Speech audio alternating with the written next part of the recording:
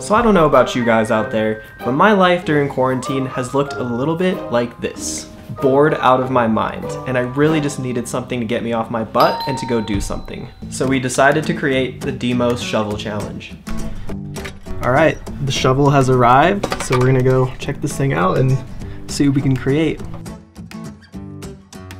Shovels have been around since 3000 BC, and the first shovel was actually made out of animal bones. Nowadays, shovels are used for gardening, shoveling snow, building bike or snowboard jumps, and a variety of other things. So we want to know, what would you do with a DMOS shovel? My team and I have created a challenge for anyone to send us their bold ideas of what they would do with a Demo shovel. We would love to hear your ideas, so send them over our way, and you too could receive a shovel like this right at your doorstep.